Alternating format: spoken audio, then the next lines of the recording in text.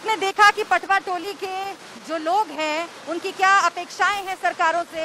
पावलून sector का ये hub है, बिहार का मैनचेस्टर कहा जाता है, लेकिन उसके बावजूद यहाँ पर लोगों को सरकारों की मदद का इंतज़ार है। बहुत कुछ बदला है, लेकिन अभी बहुत सारे बदलाव की उम्मीद बाकी है। लेकिन समझना बहुत ज़रूरी है कि आखिर ये पूरा प्रोसेस है क्या? कैसे कपड़े यहाँ पर तैयार होते हैं?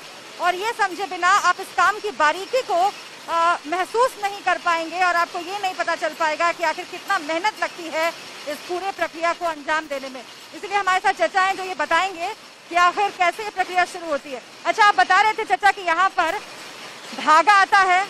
धागा धागा कहाँ से आता है? धागा पंजाब से आता है एवं साउथ से आता है, दोनों तरफ़ से आता है। जिस तरह से अवेलेबल मिलता है बाज़ार के हिसाब से, वहाँ से आता है। उसके बाद क्या करते हैं? धागा को जो है इसको छिन्नी बनाया जाता है। तो धागे को लपेट कर छिन्नी बनाया जाता है। हाँ हाँ हाँ। उसके बाद उसको नरा हम लोग बोलते हैं नरा बनाया जाता है। ये जो है नरा है।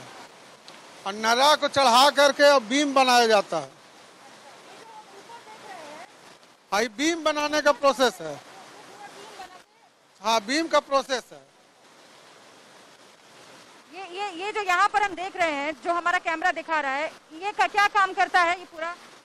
यही जो है सो उसमें जाता है और उस तरह से बीम बनता है। जो छिन्नी बना हुआ ना पूरा में भर जाएगा उसके बाद बीम में भर लिया जाता है जैसे बीम बना हुआ है।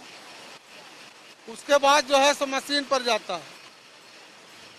तो देखिए आप अगर आप समझ पाए हो तो मैं आपको बताऊँ कि जो धागा बाहर से मंगवाया जाता है वो इस तरीके से इसमें लपेटा जाता है मशीन में लगा करके।